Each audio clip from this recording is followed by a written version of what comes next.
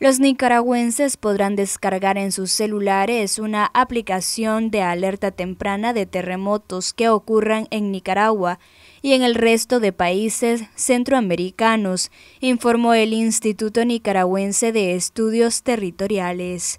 El asesor científico del INETER, Wilfred Strauss, explicó durante la presentación que esa aplicación sirve para transmitir la alerta de terremoto antes de la sacudida. Esta aplicación sirve para transmitirles la alerta de terremoto antes de la sacudida. Entonces los, celulares reciben la información de un sismo, eh, los parámetros del sismo y el celular propio hace el cálculo para eh, saber si para el dueño del celular existe un peligro, sí o no. Eso depende de la ubicación. Si uno se encuentra muy lejos del epicentro, no hay peligro, el celular solamente va a decir hubo un sismo.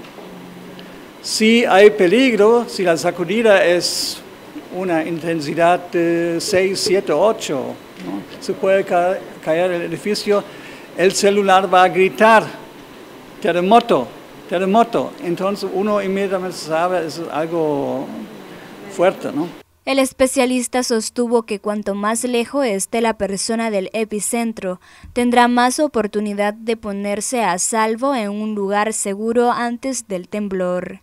El INETER invitó a los nicaragüenses a descargar la aplicación de alerta temprana de terremoto en su página web.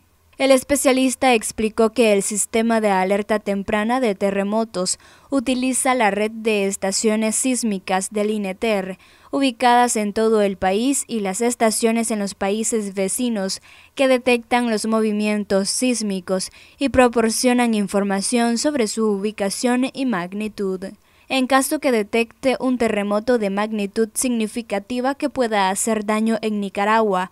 La aplicación emitirá una alerta temprana a través de diferentes canales de comunicación, como la televisión digital, los sistemas de mensajería de emergencia y a los teléfonos móviles que tengan la app.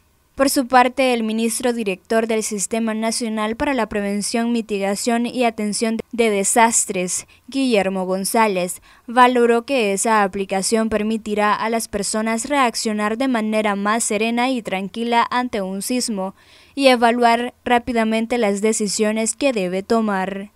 Nicaragua se encuentra en el flanco este de la zona geológica más activa del mundo, en la zona denominada Cinturón de Fuego del Pacífico, donde se registra aproximadamente el 85% de la actividad sísmica mundial. Para Noticias 12, Luisa Centeno.